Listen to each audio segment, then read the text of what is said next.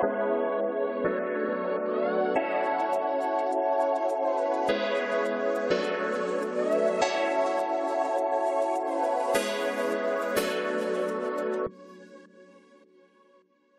suis la fondatrice de La Chapelle Atelier, une marque de vêtements grande taille faite à Montréal euh, qui existe depuis euh, un an.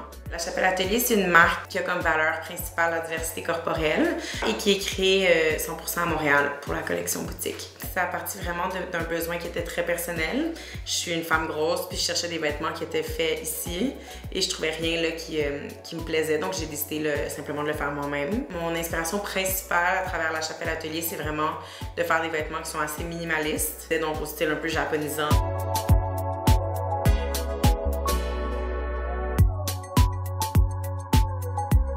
Dirais que les défis les plus considérables jusqu'à présent, j'ai dû faire face, c'est vraiment d'être seule. C'est sûr que le COVID est vraiment arrivé en même temps que, mon démarrage d'entreprise, fait que ça a comme été beaucoup d'un coup. Mais veux, veux pas, ça fait partie de la réalité des entrepreneurs euh, qui ont une start-up, donc de toucher à tout. Je pense que les réels défis, ils s'en viennent plus qu'ils sont arrivés jusqu'à présent. Donc, euh, j'ai l'impression que ça va juste être de plus en plus difficile, mais d'une bonne façon. La collection numéro 2 est beaucoup plus colorée que la première que j'ai faite.